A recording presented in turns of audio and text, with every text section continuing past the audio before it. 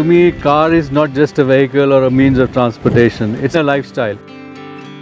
Mercedes has always been my dream when I was a student in, in India. And Mercedes was wanted to be wanted and we couldn't afford it at that time. So when I came back from US, my first target was I must have a Mercedes.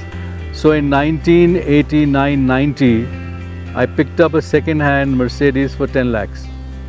And uh, then the first new, brand new I picked up in 92. Since then, I think I've been owning uh, sometimes three and sometimes two. And more than that, my son, uh, who also went to US, since young, uh, he always loved cars. And he wanted to have the best performer, Mercedes has, you know, always been a, sort of a, a, car which has been like a family symbol.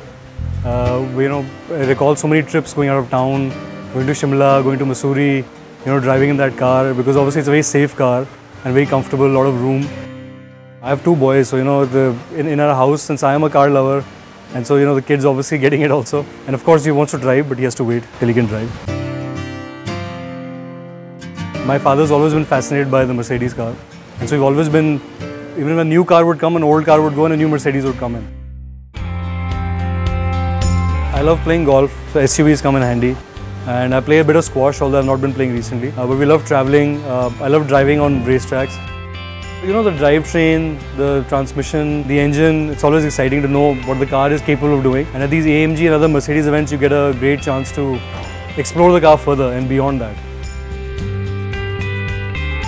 Mercedes gives you the best uh, comfort and you feel good about it. You know, just that emblem with that star is, you just feel proud, you know, to have it. It's a brand which you want to get associated with. It's something it makes you feel confident. When I'm driving a Mercedes, I feel more confident than driving any other car.